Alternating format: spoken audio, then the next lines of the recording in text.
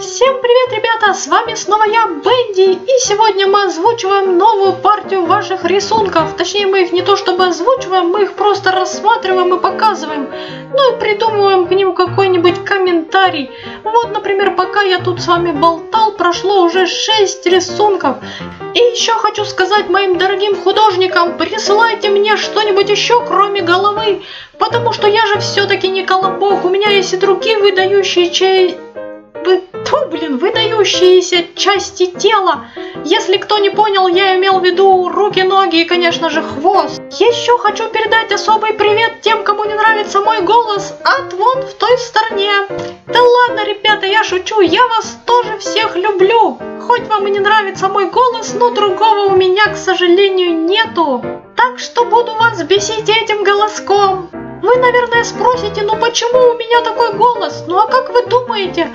Подумайте сами, включите свою логику, ведь я танцующий демон, а танцору что обычно мешает?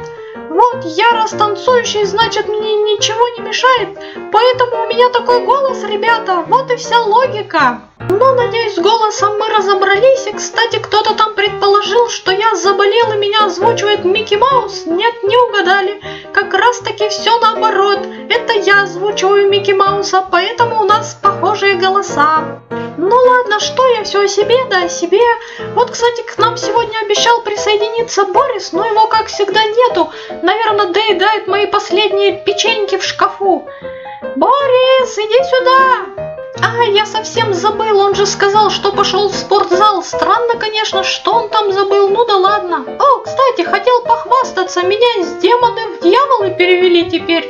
Так что, ребята, бойтесь, я теперь крутой стал. О, папа, а ты что здесь делаешь? Я пришел сказать, что ты у меня не кот, и мама у тебя не кошка, и папа у тебя тоже не кот, и я не понимаю, почему тебя рисуют котом. Ладно, ладно, пап, не кипишуй, иди, я сам разберусь с котами. Ну или может вот эта симпатичная девочка мне поможет. О, хотя можно попросить вот этого мальчика-зайчика, они обычно самые злые. О, привет, синий лисенок. Кто тут у нас еще? Э, голубой лисенок.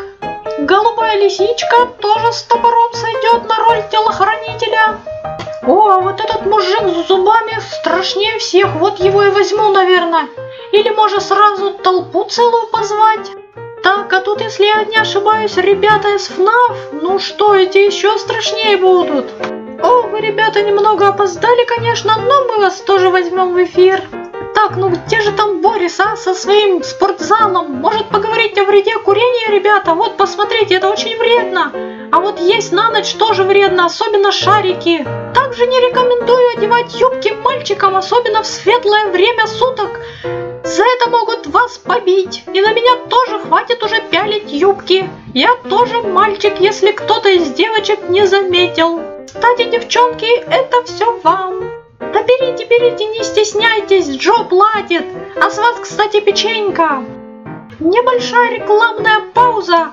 Новые чернила от фирмы Бенди раскрась жизнь врага в черный. Ну, наконец-то, кажется, Борис пришел. А может, это опять кто-то из фанатов в двери ломится? Или в окно залезает? Надо пойти проверить.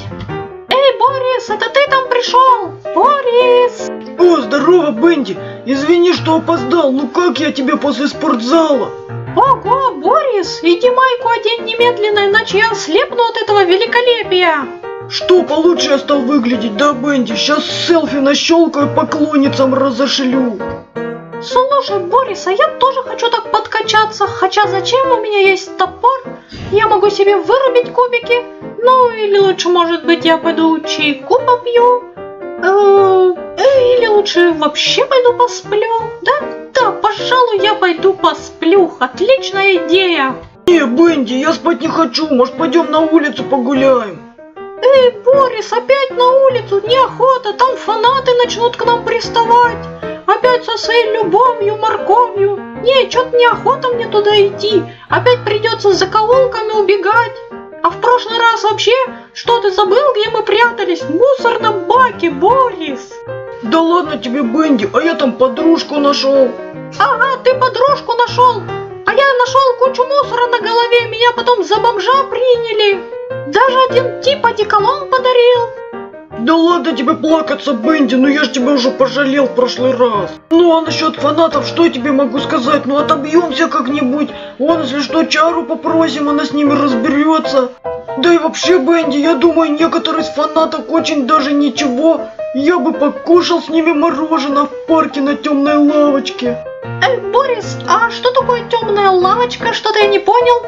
Ну, Бенди, это лавочка, ну, в парке, когда темно, и там лавочка стоит. А, понятно, темная лавочка, да, надо будет запомнить. Бенди, да и вообще, что ты паришься, у тебя ж бензопила есть, ты забыл, наверное. Ну, знаешь ли, Борис, у меня и топор есть, но не могу же я все время их с собой таскать. Ну это да, конечно, не очень удобно. О, Борис, а что это у тебя тут за наряд такой, сапоги чьи-то? У кого ты, ты такие сапоги стырил? У Метатона, что ли? Да не знаю я никакого татона, Бенди, это мне поклонницы подарили.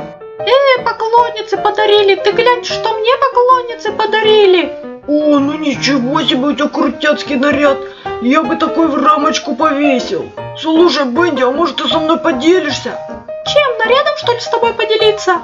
Да нет, какой наряд? На кой черт мне твой наряд? Поклонницами.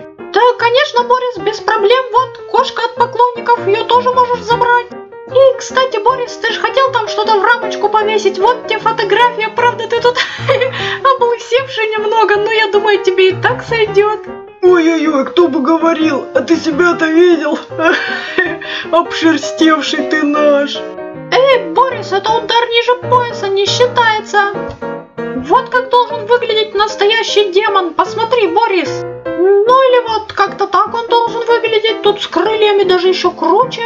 А вот тут моя подруга говорит, что этому городу нужны герои. Вы хоть напишите, где вы живете, а то я не знаю, куда лететь. О, Бенди, а эта фотография какая-то жестокая, нас же дети смотрят. Борис, ты что, по-твоему, жестоко резать помидоры? А, это помидоры, а я думал, это фанаты. Ну ты даешь, Борис, посмотри на меня, я же белый и пушистый. Ну, насчет белого ты приврал, конечно, а вот тут и вообще разноцветный. Да ладно тебе, Борис, к мелочам придираться. Я вот что-то сказать хотел и забыл, что... И то, что я не понял, я вчера, по-моему, говорил. Ну и моя мама, соответственно, тоже не понял. Я думаю, это всем понятно. А, кстати, хотел сказать вот что. Девчонки, вы меня рисуете боящегося пауков. И не стыдно вам? Я же демон. Как я могу пауков-то бояться? Мои фанатки вон куда пострашнее будут. Хе, Бенди, ты что забыл? У тебя же теперь нет фанаток. Теперь все твои фанатки мои. Ты же пресс-то мой видел в начале передачи. А, точно, Борис, извини, забыл. Так это же клево, Борис, это теперь мне не придется ни с кем целоваться и драться за печеньки. То это же клево, юху! Я свободен! Эй, хотя ладно, не буду пе... петь, в общем, я не буду. Ля-ля-ля-ля-ля, у меня уже язык заплетается, Борис. Я не то что петь, я уже говорить не могу. Давай заканчивать этот выпуск. Скажи что-нибудь напоследок ребятам. О, Бенди, ну ты слабак, уже сдался. Ну что, девчонки, теперь рисуем только меня. Всем пока.